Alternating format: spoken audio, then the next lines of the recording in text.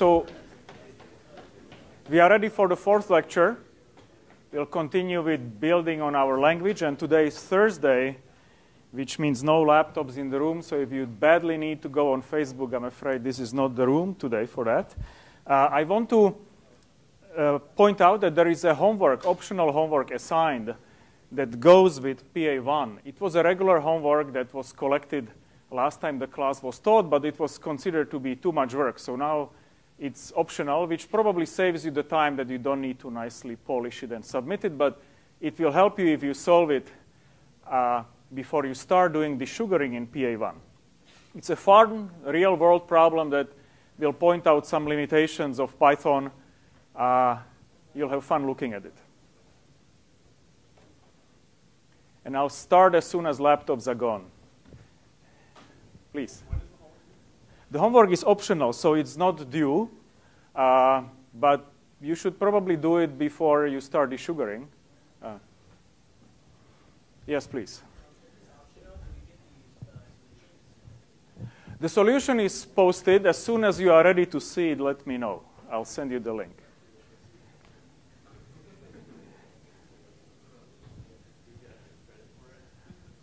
Yes, you do, because you will do better on the project than the exam, so, so you will. Okay, so looks like we are ready to start. And uh, here is the language that we ended with last time, okay? And uh, nothing sophisticated. In fact, we want this language to be as simple as possible so that the interpreter that runs it is simple, easy, and the rest is done by just rewriting the tree locally, so-called desugaring. But before we go on, I want you to look at this language and tell me what you seem to find funny, and we may want to change it a little bit. So this is just syntax, which means telling you which programs are legal.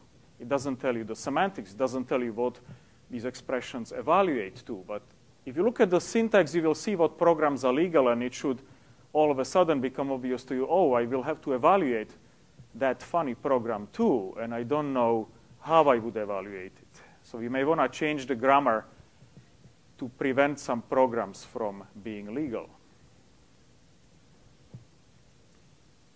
I see opportunities for two changes that would simplify the interpreter.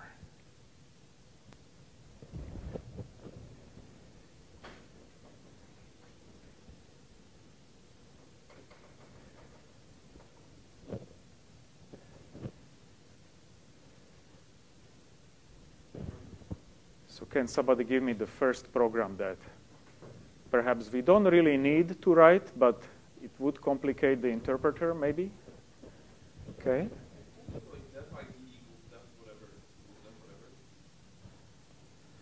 Well, would you be able to? Um,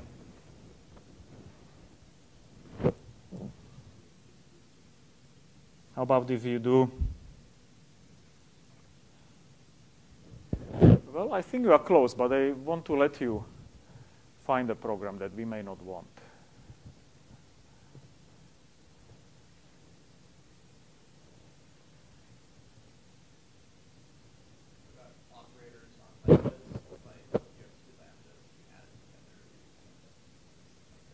Mm-hmm. So operators on lambdas might be tricky, right? You may, don't, you may not want to do lambda plus lambda since plus may not be defined. But there might be some operator that you may want to define over lambdas. Can you think of an operator that would actually make sense over lambdas, which are functions? You may want to compose them. So I write lambda, lambda, and it really means apply one, take the result, plug it in into the other, sort of chaining them. So I don't want to exclude that because that might be useful. And after all, lambdas are expressions that evaluate to values. They're first-class functions, meaning their values can flow through the program. So applying an illegal operator on a lambda we'll have to take care of, but we'll do it in the interpreter as we evaluate bottom-up. So that we cannot quite simplify away.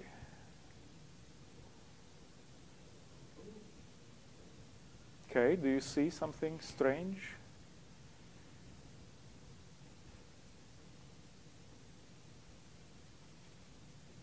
So how about if we do, I don't know, x plus x equals 7, is this legal in our language?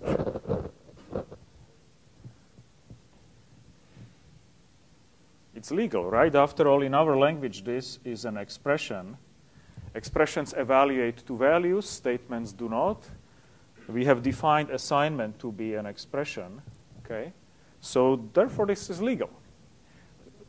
Do we want to keep it in the language? Do we want to prevent such things from being legal?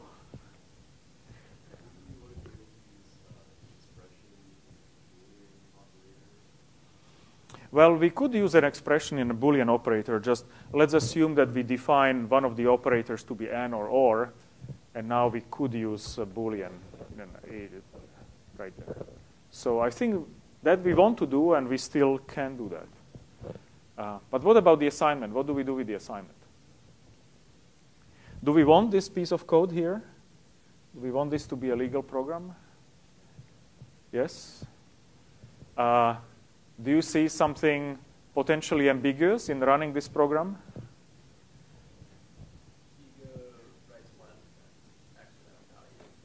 Uh-huh. So now the order of evaluation is a problem, right? Because if you evaluate this x first and then you evaluate this expression, it's a different value than when you evaluate this second and this one first. Because x is now changed in the middle of the evaluation of the expression.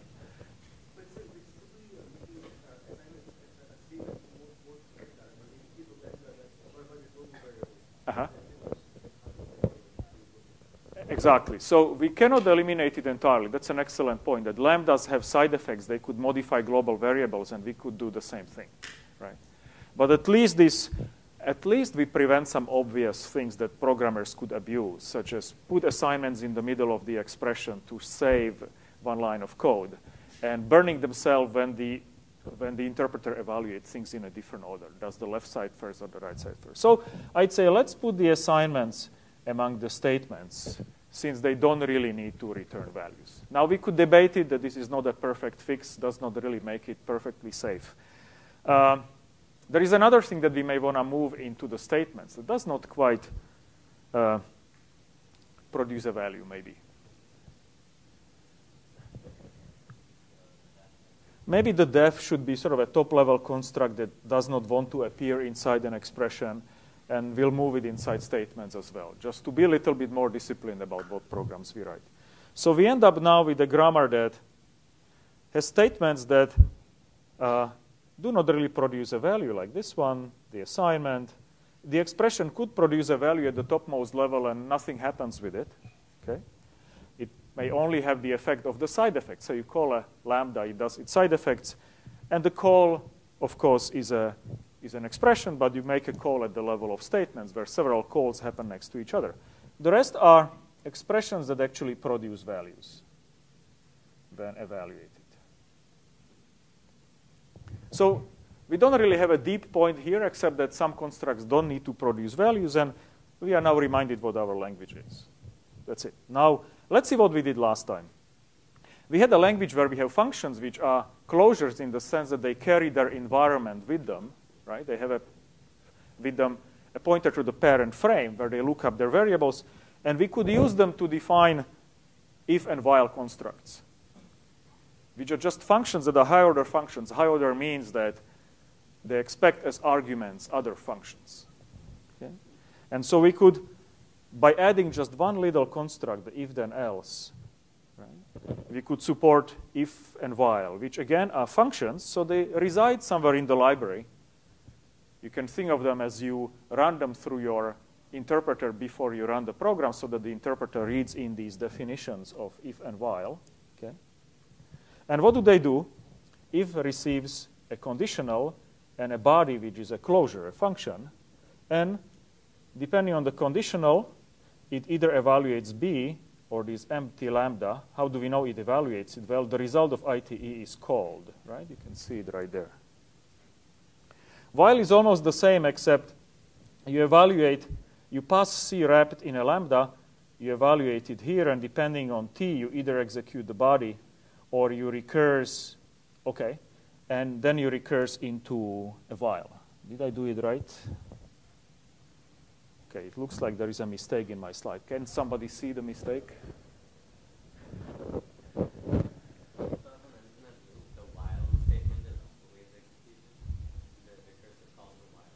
Uh-huh. So when do we call while recursively, right? We need another if statement here, right?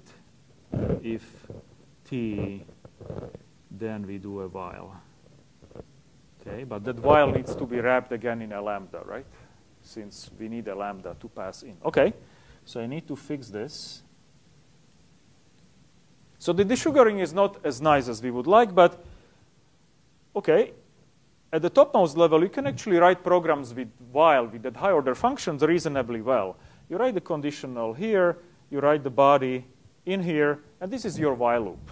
You know, there is some extraneous stuff, you know, the headers here, but it's not so bad because if you look at jQuery, which programmers love, it does the same, right? When it specifies some piece of code to run, say this one, it wraps it in a lambda and passes it into this high order hour function. So programmers can live with this. No big deal.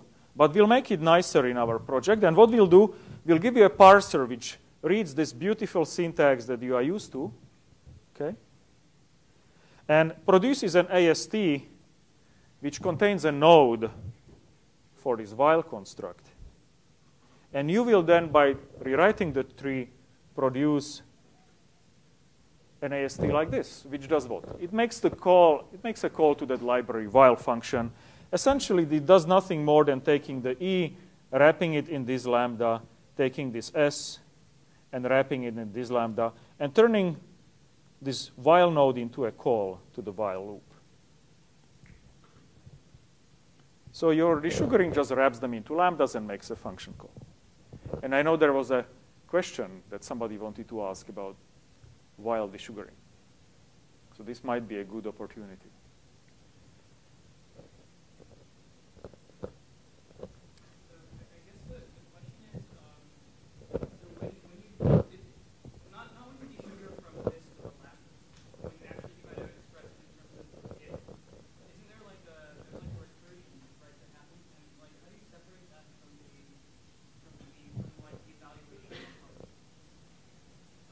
Uh, okay, so this while here is incorrect, clearly, since I forgot what probably you are asking about. But let's write it correctly here. So what would while do? So while is a function that receives the conditional, a lambda and a body. Both of them are lambdas or closures, right? And now we evaluate C by calling it. We store the result in this temporary variable introduced just for the purpose. And now you can call if, right, with the result of t, and you pass the body. And if executes the body if t is true and doesn't execute it if it is not true. All right? So far, so good. And now we want to call while recursively, but we want to call it only if t is true. So what do we do? We do if t, and now we need to put the body of if. Should this be lambda, empty argument, and uh, what will go here into the body of lambda?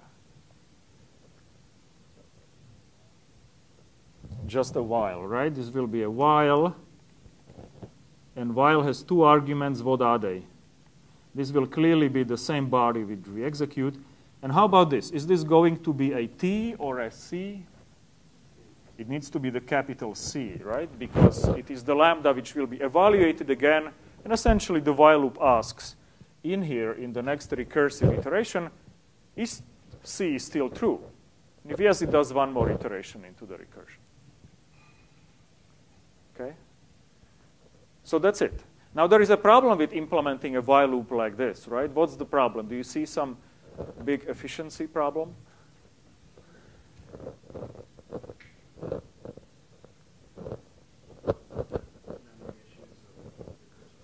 The memory issues of recursive calls, right? That you call it, as the stack will be as deep as the number of iterations in the while loop, right? So there is an optimization that deals with it that some interpreters actually implement. It's called tail recursion elimination. If you look at this recursion, when the iteration, the recursion stops, what happens when the loop, the while loop, decides not to iterate, not to recurse anymore? Do we do any useful work on the way back from the recursion?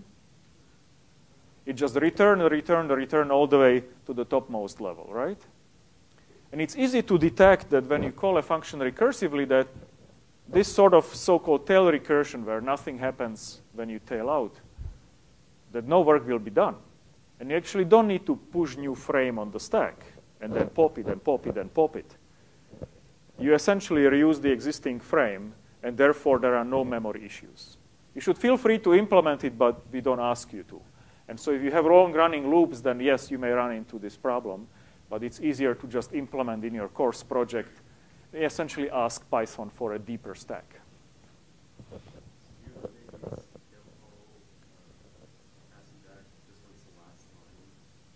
Exactly, right. Sometimes it's not easy textually to detect that that's the case, but essentially if after the recursive call the immediate statement is a return, right, it is the last statement, then you know it would be a tail recursion because when the callee returns, you would return, and that's so-called tail recursion. So does that answer the question about while? Okay. Perfect. So, so what we'll do today uh, we'll first look at iterators a little bit more. We'll look at the for constructs, then the tables, which are dictionaries, comprehensions, coroutines, lazy iterators, how to compose them, and probably node regexes. Maybe we'll leave those for later. Okay? So tables. Uh, tables are nothing really but hash tables and dictionaries. And here is an example how we'll use them in our language. You create them with this so-called literal. Literal is a constant that creates an empty table. Table as a hash table, okay? And now you see what happens next. I'm putting a value next to a key. So here is a key and a value. And look what I'm doing here. I'm using the hash table as an array. Just using the numeric index as a value and printing its value here. Okay? So in a sense, it's a very versatile data structure that we can use here. Okay? So if you look at the operators, we need something to create an empty one. We need to read a value given a key. We need to store a key into a table. Okay? So the first question is why do we have, when I describe these operations, a general expression here? Clearly you want one here, right? You want an expression, arbitrary one that evaluates to the index, the key into the hash table. So why is it, why do I have, why am I allowing arbitrary E on the left?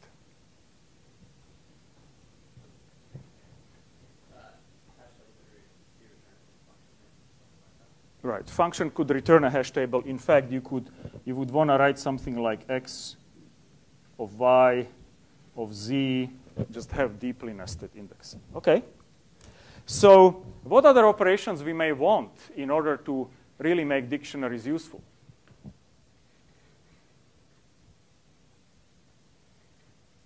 I'll wait for the gentleman with the laptop to answer. Thank you. So what other operations we may need? Yes. Yes.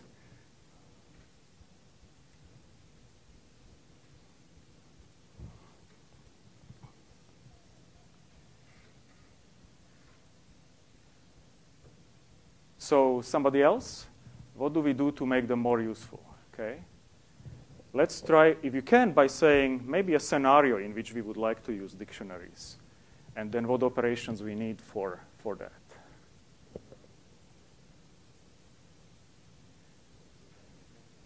Well, let's start with the operation, and we'll invent the scenario.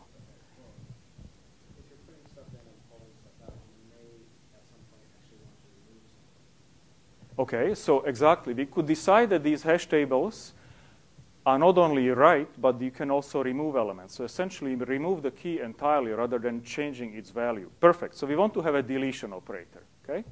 Uh, we could we could get by without it, perhaps, right? We could say this is not allowed, and when you need to do it, you will copy the dictionary and to a new one without it. Sort of less efficiency, but there are languages that don't allow changes to the data structure, so-called immutable data structure, and then you have no choice. So that's great.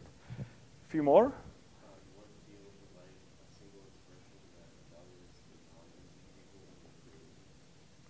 Okay, right. So in other words, you would like to have a different way of constructing it, where what you construct is a table that is not empty, right?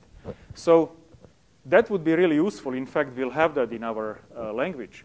The question is, do we need to do it through by adding anything to the interpreter, or could we do it by desugaring? Right, because we can do it with desugaring because on top of these expressions that we have here, we can already do that, okay? Delete we cannot quite do, because even if we copy the data structure to create one without the key, somebody else may be pointing to the one that we want to delete stuff from, and that we cannot undo. So delete is truly unique. That cannot be simulated on top of these. Fantastic. Okay. A few more, maybe. All right. Get the list of all keys. Why would that be useful? Exactly. So that you want to iterate over all elements. If I give you keys, you can then iterate. You can also do another useful operation when I give you the list of keys. What could you do? What was that? Stores. Oh, yes, sorry. Okay, so there is a typo.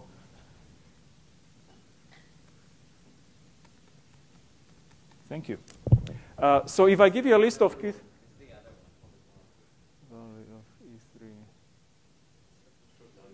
Oh, right. Okay. Good. So if I give you a list of keys, what other useful operation you can build? Through desugaring rather than natively. Say membership, right? You can then ask about membership. So here are, here are a few other things that you want to uh, discuss at home and think about it. The various corner cases, such as if the key is not present, what return value do you produce? If your language does not support exceptions, then you need to make some sensible choices to what value you return. So I'll leave them here for you to think about. Uh, and another question, perhaps, I'm extending the language with tables, essentially suggesting that we'll teach our interpreter, our base language, in other words, will support these tables natively. But do we have to do it? Could we emulate them on top of the constructs that we have? Okay. Uh, they would be slow. They will be slow anyway because you're doing it on top of Python. So that is a different story. They will be slow, but how would you emulate them?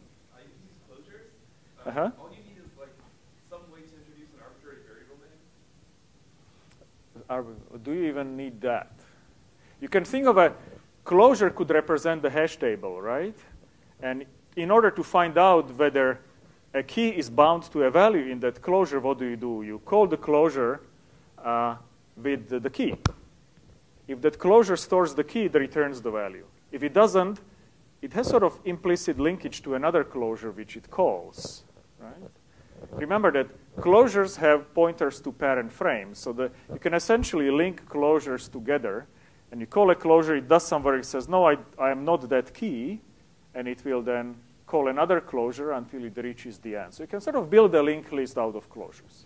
I believe there was such an example in the 61A book that you did. If it is not clear, try to figure out how you would uh, fake these uh, uh, tables with just, with just functions. It would be harder to make them mutable. It would be harder to support the deletion operator.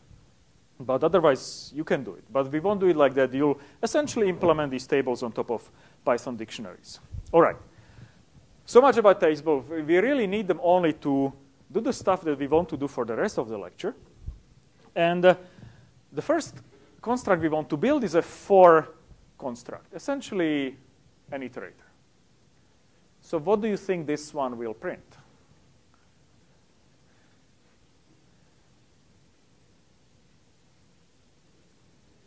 Just prints values 0 to 9 or 1 to 10 or 1 to 9. It's a matter of definition how we define it, right? So let's assume it prints 0 to 9, but honestly, I don't remember what we assigned in the, in the language. It doesn't terribly matter. Okay, now, what, what would this expression here, what would it return? When we evaluate whatever is there in for, what kind of value will be returned? There isn't a single good answer. There might be multiple. So what are a few choices we have? And which of them you think will give us more flexibility?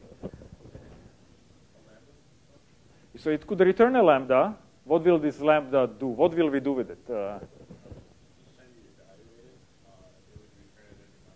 exactly. In each iteration, we call the lambda, and it will give us the next value. Okay. So that's not the only choice. What would be another choice? What could that expression there return?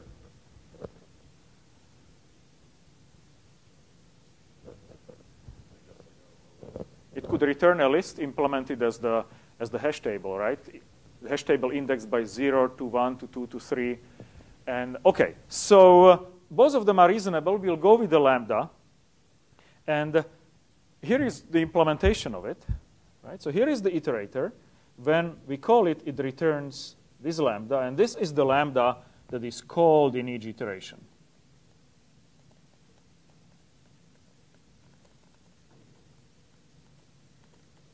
Okay.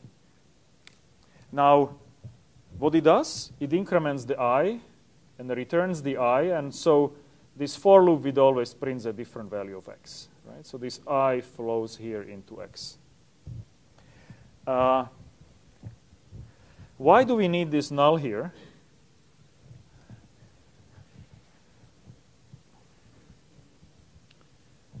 Could we just have an if without the else statement?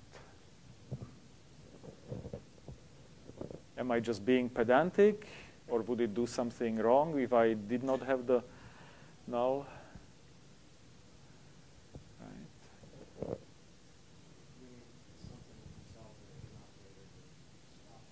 Exactly. So null is our protocol that we have with the for construct, right? When we call the lambda in the for and the lambda returns null, the for construct knows I'm done with the loop, I'm exiting. So this is essentially protocol for saying the loop is done.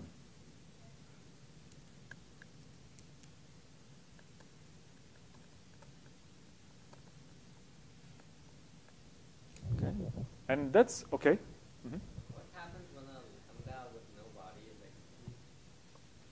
Okay, so the question is if the lambda has uh, no expression at the end, essentially this is one, right? This lambda has just one statement, and uh, statements don't return functions. So then we do need to have a, some sort of agreement. What, what will the lambda return? A returning null would make sense. Right? Just defining that all such lambdas return null so that interpreters cannot differ. And programmers are not surprised when they port a program from interpreter to interpreter. And in other words, we can test your interpreters. Uh,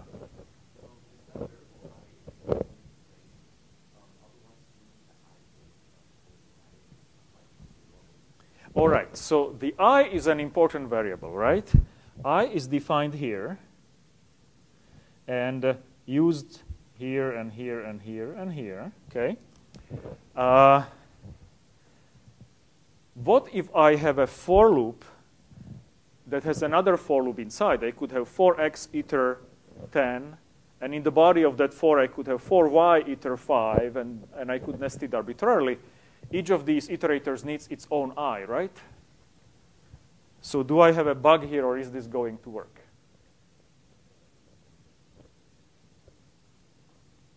So you have, if I have three nested fors, each of them has its own call to iter. We need clearly three different i's. So is this going to work correctly, or do I have a problem? Or we are relying on, on the beauty of what to make it work.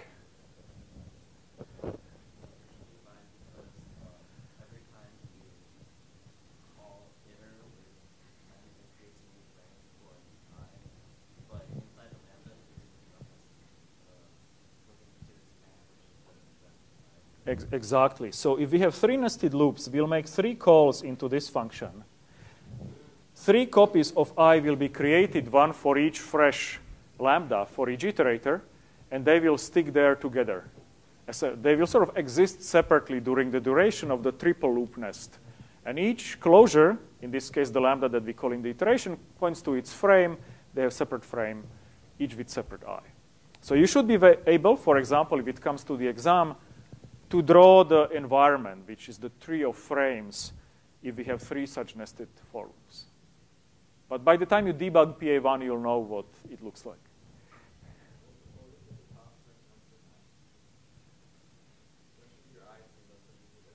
Uh, okay, so this one will probably print 1 to the way it's written. It will print 1 to 10. Excellent, right. So that's a matter of definition, but the way I implemented it, it would be 10. Right. Good point.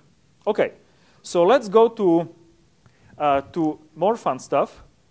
So how would you desugar it? Well, so you have a for construct that has a variable here, so an ID. Here you have some any expression. It does not need to be a call. And what do you do? You create a temporary variable. The name is invented by the interpreter, by your compiler. You evaluate it once here. This is the first, right? The value for the first iteration. You check whether it's null. If it's not null, you call it again, and then you go to S. Is this correct? Not correct?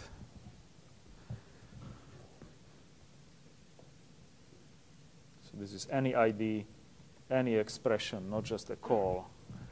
So is this a correct desugaring or not?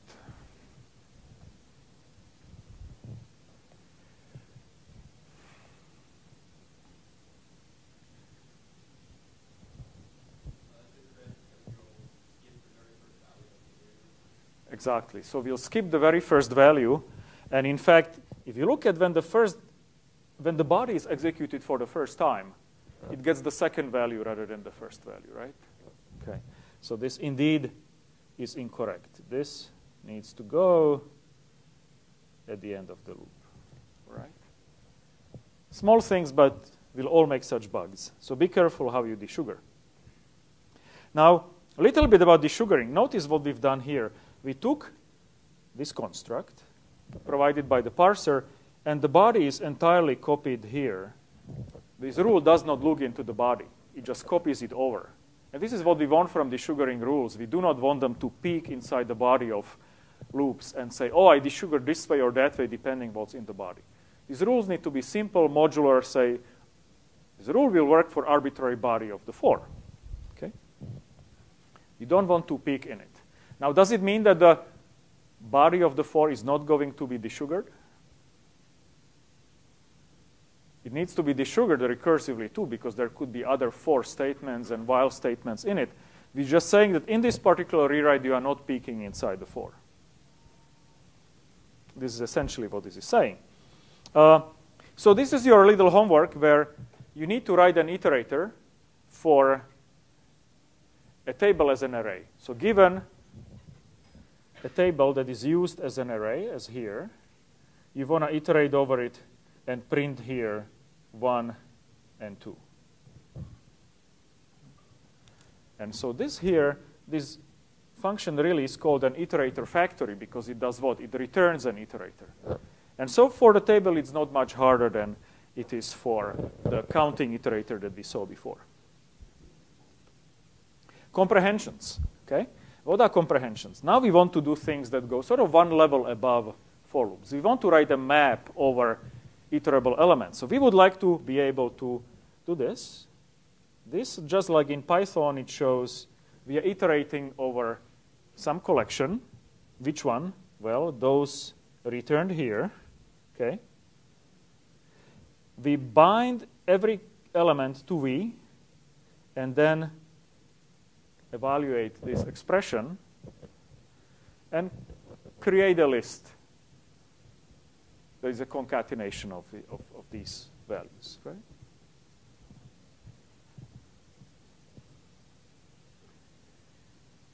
So how would we desugar this?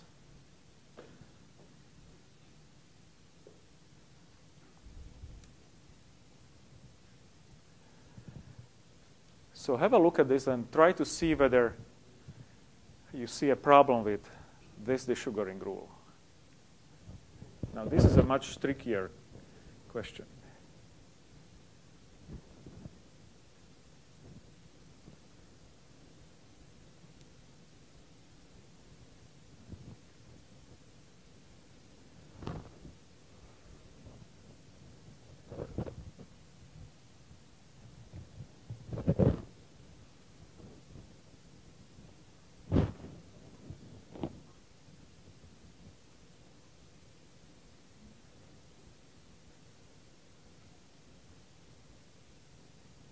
So I will be really impressed if you spot a problem here, because uh,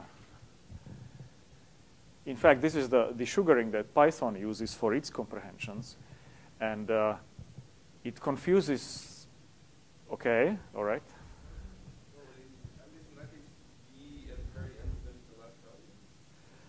Um, v at the end is going to be the last value, but you could say, um, no, the way the way for, the way this for is desugared, right? Because we have desugared it to this, and then for is going to be desugared further, of course, into while. Uh, the scope of v ends right there, so nobody has access to v, so that's okay.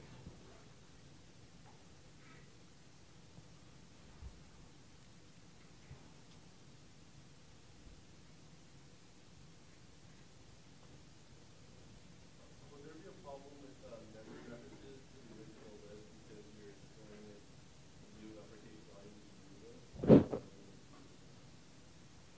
So, no, I think that would be fine. In fact, turns out that nothing is really broken at this step. It is how we desugar the for what makes things really strange. And so this is what the optional homework is about. It really will help you understand the subtleties of when you implement one construct one way versus another way. And so there is a funny story that you can read about in the homework.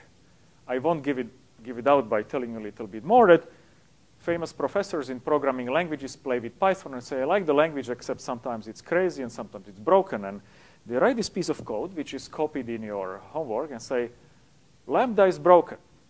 And other people say, no, no, no, Lambda is not broken. Something else is broken. You see that the way they implemented Python does not really let people understand easily what's going on underneath. And the way we have been desugaring things so far is along the lines of what Python does it. And so it could lead to the surprising behaviors that uh, people observe with Python. And one of them says, no, it's actually nothing is broken, but when I encountered the strange behavior for the first time, I threw up in my mouth a little. Uh, so I think you want to look at the example and see the polemic that people have about the behavior of Python, and it all boils down to the desugaring rules that we are talking about here. It's quite amusing, and it's also nice to see what you need to do to desugar it right so that people are not surprised by the behavior. Uh, so I'll leave it to you as the homework. And, uh, but one thing, as, as, you are, as you are defining the desugaring for comprehensions, it just needs a slight modification from what I showed you. You want to make sure that it works for nested comprehensions. Right? Essentially, these are nested loops, but you can write them as nested comprehensions. And uh, a, a funny way of remembering how these nested comprehensions work is to read this line. We want to read them right to left. So this comprehension starts here and ends here. And here is one for, here is another one.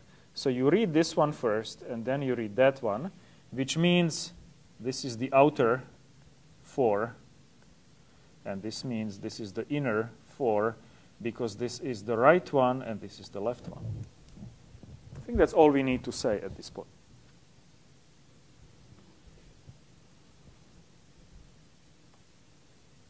So if you remember what we have built, we started with lambdas, then built if and whiles, for and iterators, and comprehensions, and the stack of abstractions we have is growing nicely. But to do really powerful stuff, we need to look at lazy iterators. Okay? Uh, imagine I want to do the following. I want to write a procedure into which I pass an array or a list, whatever you want to call it, and I want to print all possible permutations of the elements in the list. Okay. Does anybody know an elegant algorithm for doing this?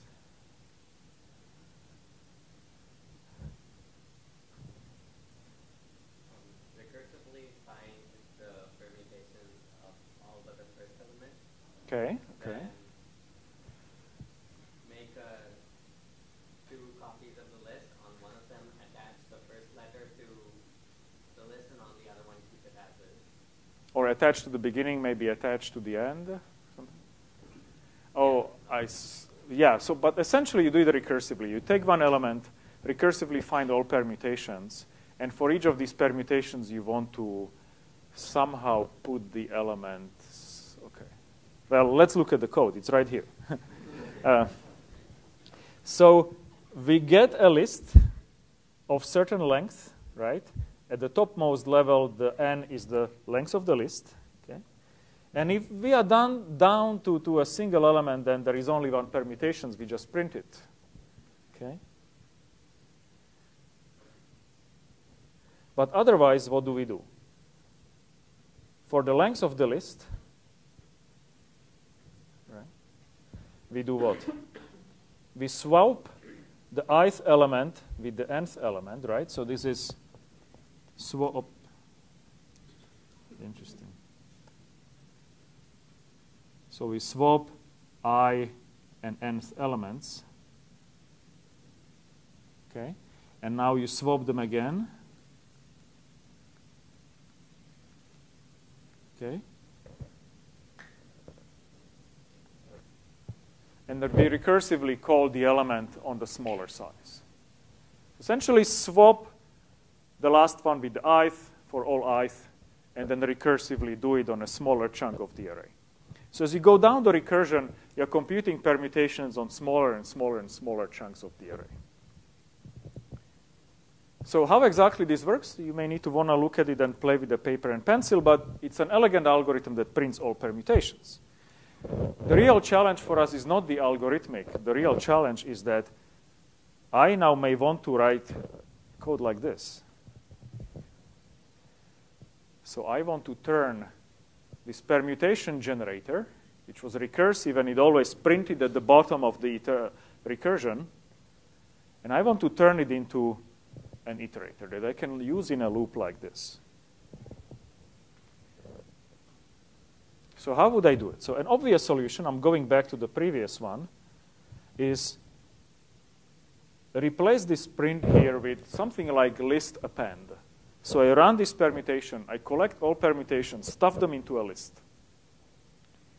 And then in this loop, I will have this iterator essentially return the list and then iterate over it in the loop. Is not very efficient because there are exponentially many permutations, and maybe I'm only interested in a first few of them. So why would I construct the whole list when only a first few of them are needed? So I want to construct these permutations lazily.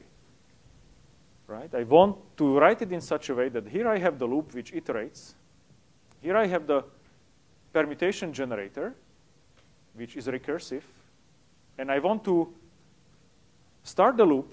The permutation generator goes all the way down to the recursion. And somehow I want to hand the value back to the loop so that it can do one iteration of the loop. If it decides to do one more iteration of the loop, I want to return to the permutation generator, which is now where? At the very bottom of the recursion, it has its call stack here, full. I want it to do a little bit more work. Hand me the next permutation. I go back to the loop, another iteration, go back. A little bit of more work in the recursion, without, of course, popping all the way up and go back to the loop. So how do I do that? Just a question. On the previous page, how come you only print, well, you print A, A is of, uh, i- is, are you just printing one letter or are you printing a permutation? No, this A actually prints entire array.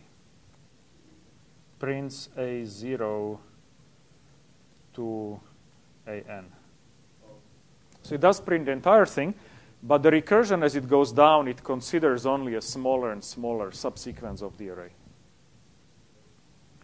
So why would our existing iterator fail uh, to support this, right? Remember what our iterators do. Our iterators are lambdas that the loop iteration calls. The lambda is invoked, returns the next value, loop does whatever it wants with it, and the next iteration it calls that lambda, the iterator again. Cannot we just use that for the purpose?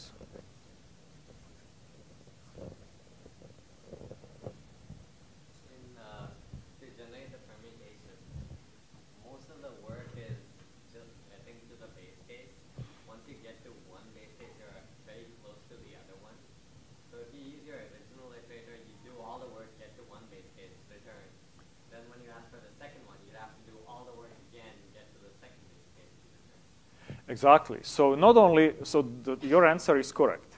The, the whole work goes down to the iteration and getting the next base, next permutation is just perhaps returning one level of the iteration and down rather than all the way up and down. But even if you don't care about the work, just imagine the bookkeeping you would need to implement to support the return of the permutation generator all the way up and then calling it again and it needs to find the right place in the permutation. In other words, the recursive structure of the permutation generator keeps a lot of state beautifully captured in the call stack. If you wanted to return from that recursion and somehow maintain that state, meaning what iteration, sorry, what permutation goes next, you would need to do quite a bit of bookkeeping.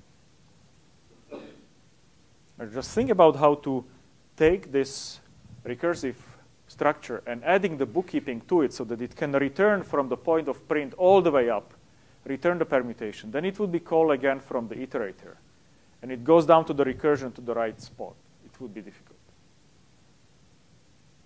And this may be a silly example because who cares about permutation?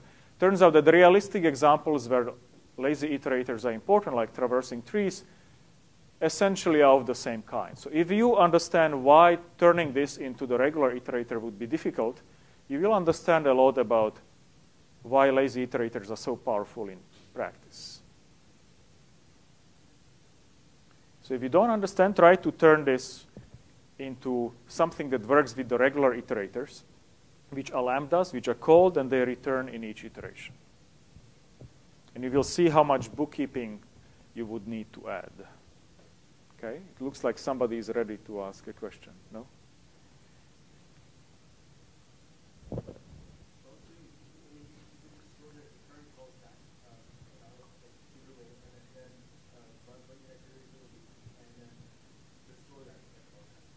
Right, so you would need to somehow store the call stack and restore it, but in typical programming languages, you don't have the access to the call stack, right? You cannot say, take a snapshot of the call stack, restore it, and put the PC right there, right? You cannot do it. You would need to create a data structure that essentially keeps track of what's in the call stack. And I'm not saying you cannot do it, just harder, okay? So how are we going to solve this problem when the usual iterator architecture, so to speak, doesn't work.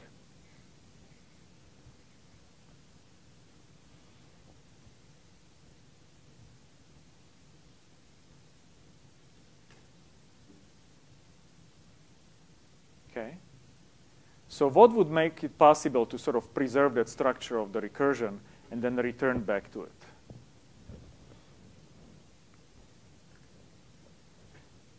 What if we were running the permutation generator is a separate thread that we could somehow suspend at the right place, and it sends us the value back as a message, and then we say, good, thank you, and when we need it again, we'll let you do another recursive step, and it will give us the next value. Would that work? Yes? No? Essentially, we would have think of it as two threads, each of them with their own stacks, and they communicate through something like message passing.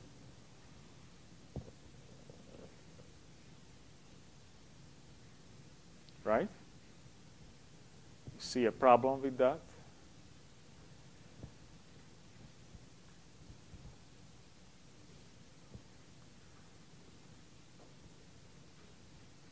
the real problem is that we have the recursive call, which is deep in the recursion. We want to preserve that stack. So, well, let's just do a sort of suspension of the execution. So we'll do it exactly that.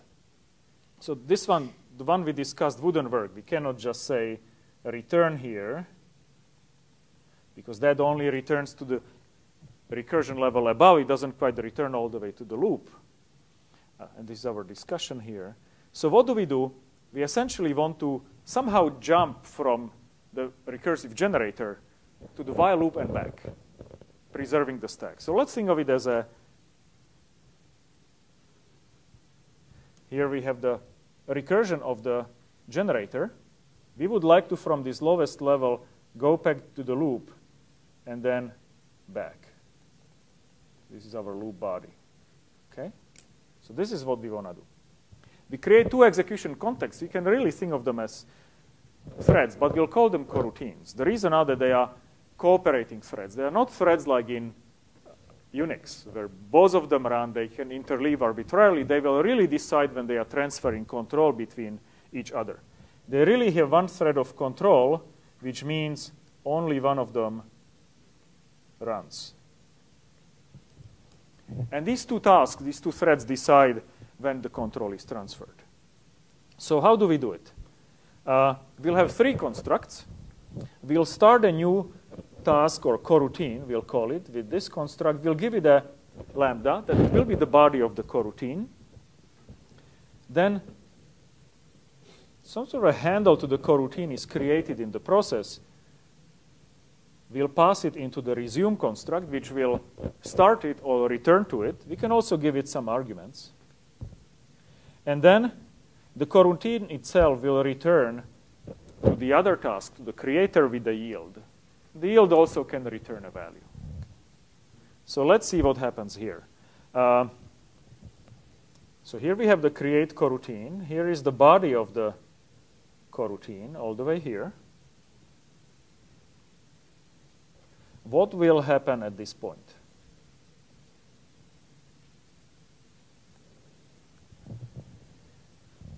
Where does the control of the execution jump after this?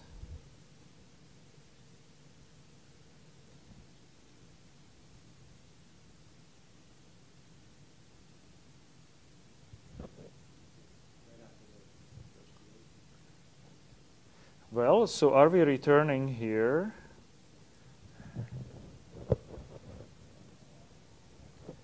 Can think of the coroutine as a task. So when we create it here, it's actually not running yet. We sort of just create an, one that's not active. It's ready to run, but it's not running yet. So actually, when you do this, at this point, we are going to that point, okay, here. And this yield is going to go in here. So this will print 1. The second resume is going to go where the yield left off, and you print 2. Okay. Then you go back here into the next resume. Okay. And you print 3. And when this one resumes, what happens?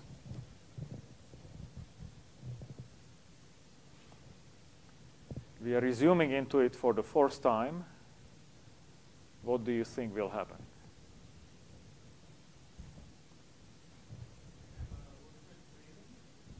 Well, that would, we could decide that we'll try to print three, but it would be difficult to implement because you sort of have a special case. Right now, you are clearly at the end of the coroutine, and you need to somehow discover you at the end and somehow remember that you are still here but not really. What we'll do, this resume wants to go to a coroutine that has ended, and so an error would be thrown here. One, two, three is printed, and now there is an error because we are resuming into a finished coroutine.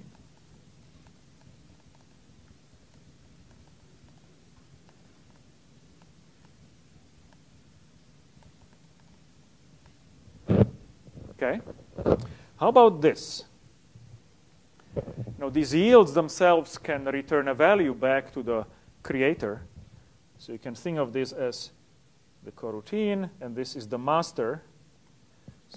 The master, and this is the slave.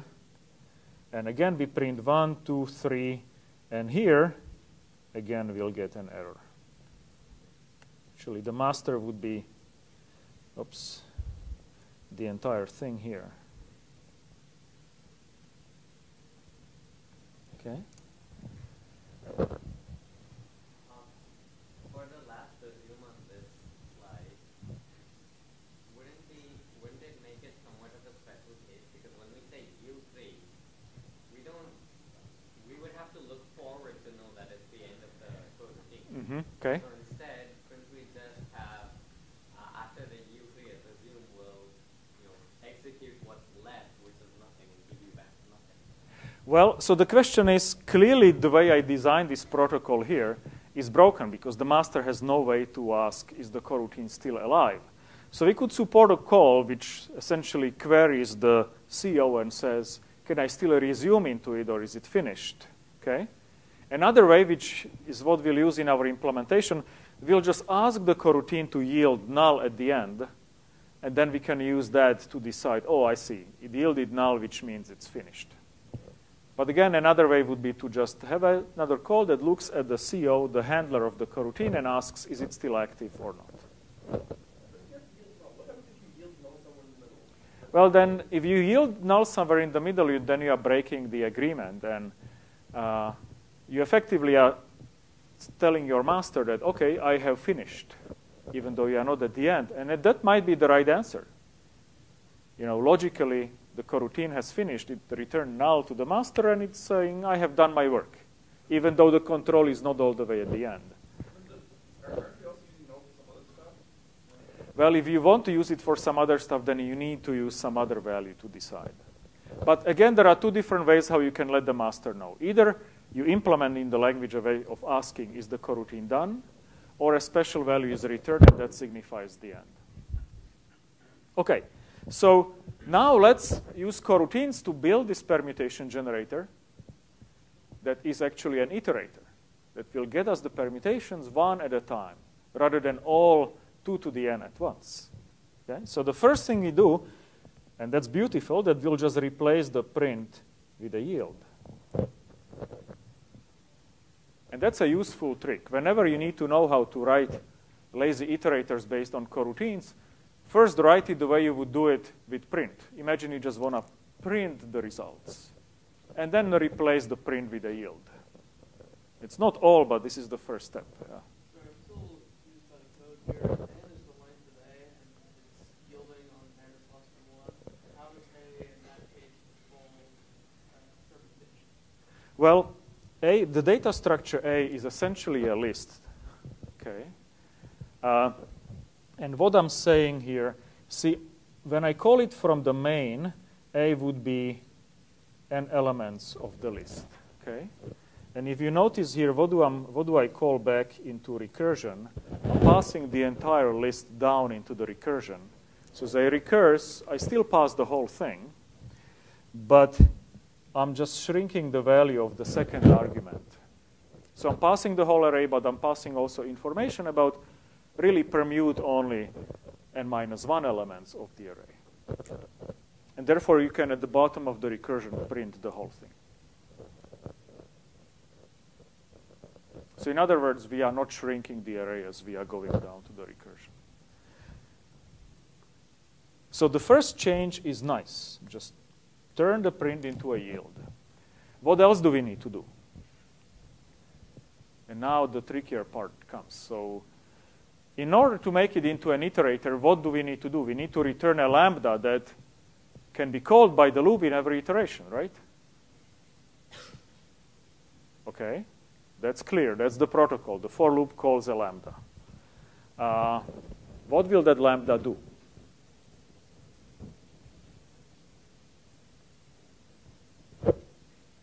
We do have time, actually. So let's make this the peer exercise. Why don't you grab a piece of paper and uh, work out what would be that iteration factory. Remember, iteration factory is the function called by for at the very beginning of the execution. That function returns that actual lambda. Right? Let's go here, for example.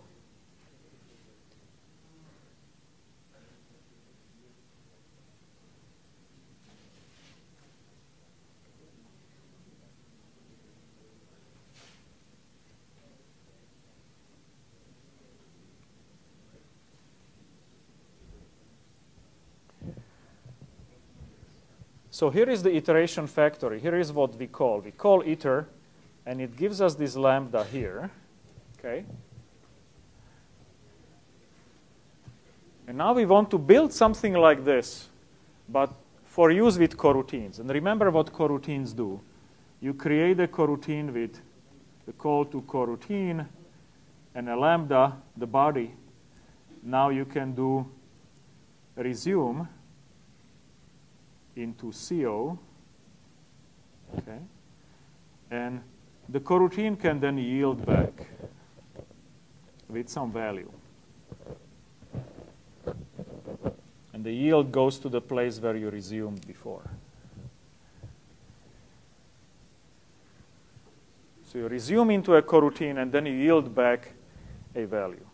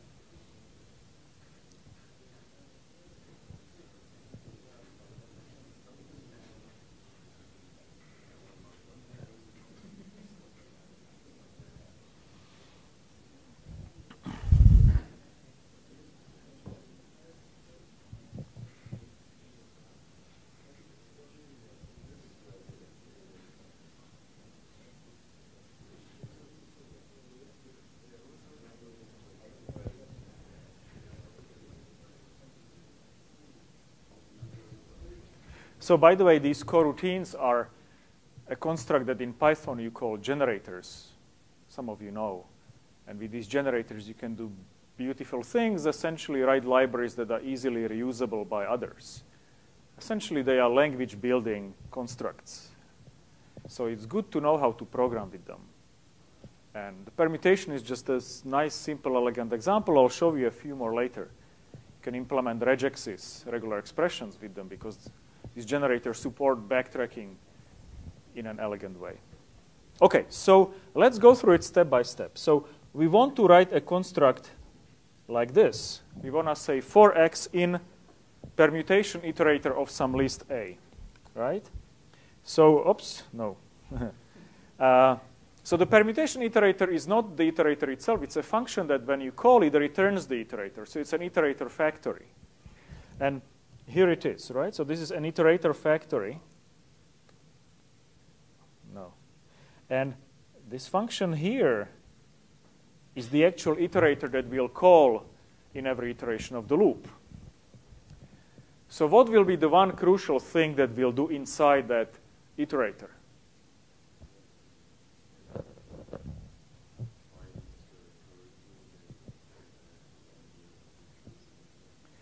So there are a few things we need to do, right? So we need to somewhere uh, create a coroutine, create a coroutine. Then we need to return the lambda, the iterator. And then what is the third step that we need to place somewhere?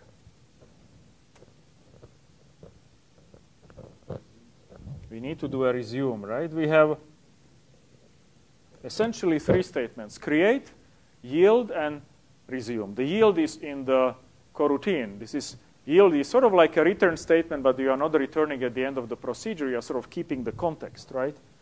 When you yield, you stay right there, and the execution then resumes at that point. Okay, so where do we do the resume? How many times do we resume? Once at the beginning of the loop, uh, in each iteration, depends. In each iteration, right, the yield and the resume are matched, right? Yield is done by the coroutine, which is sort of slave to the loop, and the resume is done by the loop. How does the loop does resume? It does it by calling the iterator, right? So somewhere here, inside here, we need to do a resume. Okay? So now we know where the resume goes. We know where the yield goes. Where do we create the coroutine?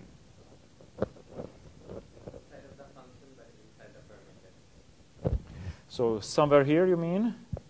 Okay, so let's create the oops coroutine here. Coroutine, and the body will be permgen.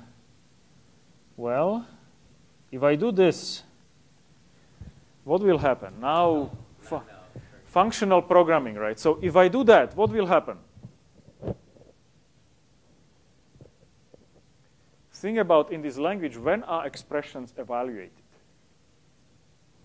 Right? What is permgen? Permgen is a function, right? It's a pointer to function. It's a closure. If I put parentheses next to it, what will happen? A function call will happen, right? You jump to permgen right here. Okay? Is that what you want? Right? You want to pass into that call to coroutine just the handle to that permgen function. You don't want to run it actually. Okay? So this here is crucial. We cannot do that. We just pass in permgen. Good? Would be lambda, lambda with no arguments, permgen of A, because of how coroutine is implemented. Well, let's see what will happen. So let's just start with that. We'll just pass into the create coroutine this, and maybe we learn from our mistakes. So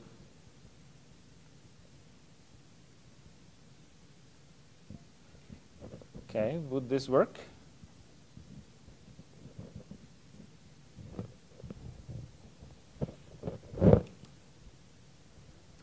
So when this is called for the first time, and it's called only once, right, before the loop, we create the coroutine. That's fine. We have just created a coroutine.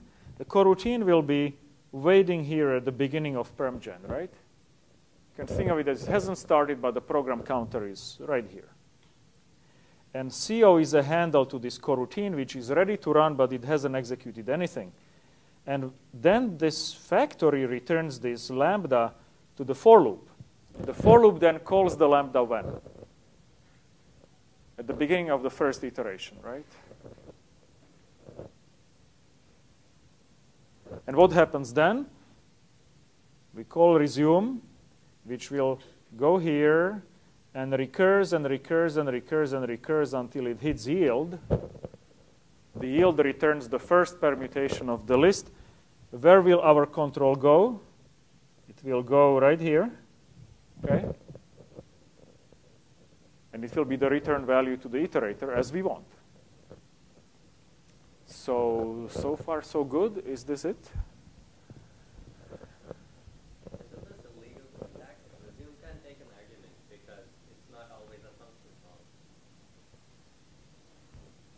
Well, actually, resume does take an argument. You can pass values both from yield to the master and from the master to resume. Right. how does the slave um, know where to put that argument? Okay, so at the beginning it is the argument of the permgen, and then later it is the value that the yield evaluates to. So I'm not sure we are going to ask you to implement the passing of arguments, I mean, from the master to the slave through yield, but the values could go from yield to the master as well as master to the yield, and it sort of looks like the return value of yield.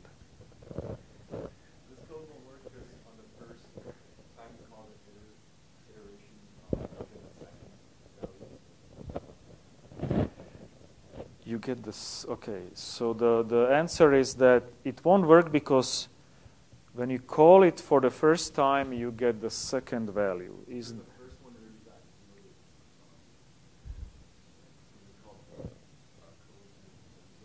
uh, oh, I see. So not quite. When you call coroutine, it does nothing but creates a coroutine.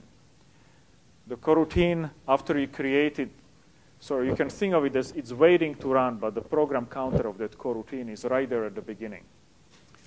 So this call, the coroutine call, actually doesn't run the coroutine. It doesn't go to the first yield. So that way we are good. Okay, so let's look at what, what we have here. Uh, okay. So almost, we got it almost right.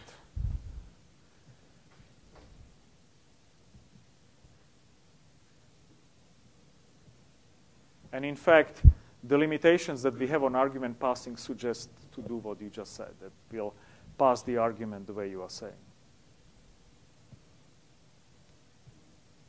So, what is the one thing that we have fixed in this version that our brainstorming didn't do right?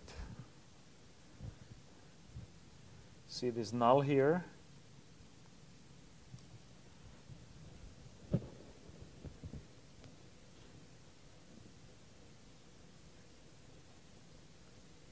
Right, so what does the null do?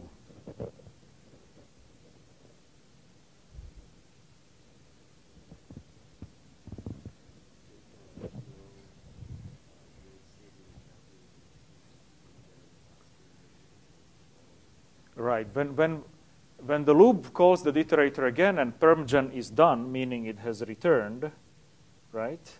It actually doesn't return an undefined value, but it returns this null, and that terminates the loop.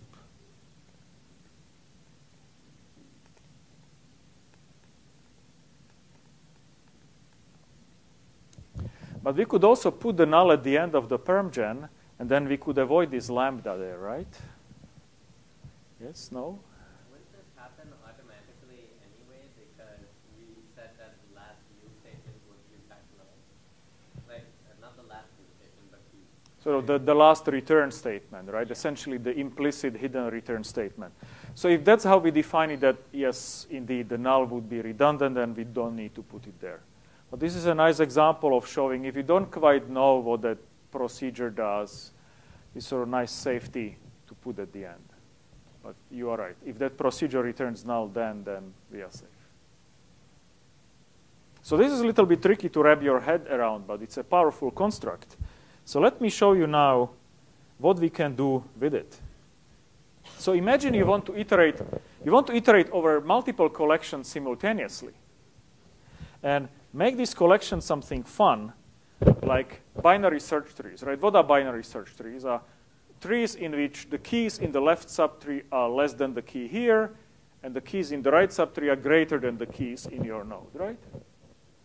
Should be familiar with binary search trees, allow you to find an element in the tree in log n time, assuming the trees are balanced. And if I just ask you to find a node in the tree, you would know how. If I ask you to iterate over the tree and print every node, every key, this is how you would do it, right?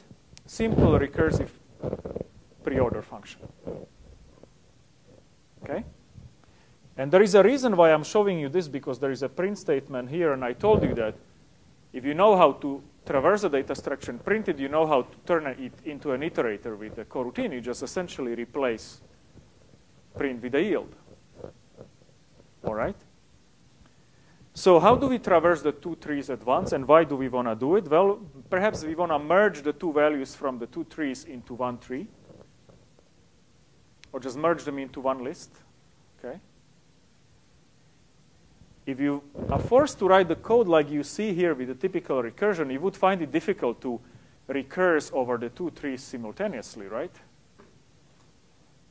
Because you would use, you would need a call stack for each. But with coroutines, it's easy.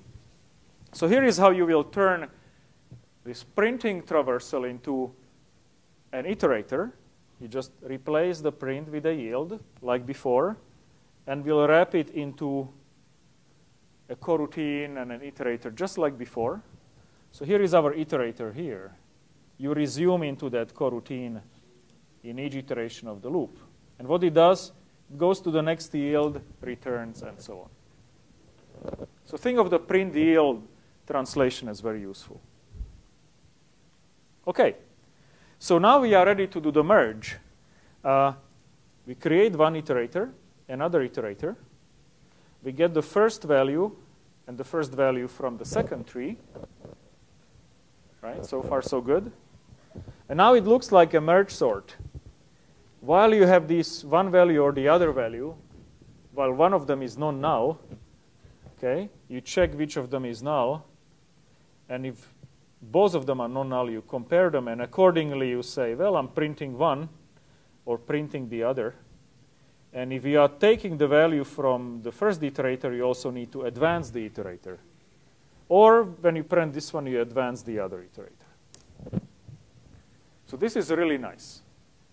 You know how to do it with arrays in merge sort. You sort of pick one element from one array or the other, now you can do it over arbitrary data structure for which you can define an iterator. You don't even need to know whether it's a tree or not a tree. Okay? So your little homework is to figure out how to actually turn this merge into an iterator. I showed you how to take this recursive traversal of a tree into an iterator. And once you have here it is. Once you have that, you can turn it into a merge, which picks one element from each tree at a time. But this merge itself could become an iterator. And in fact, you can take two trees, merge them on demand, and pick one element at a time. And this routine over here will sort of advance step by steps as needed.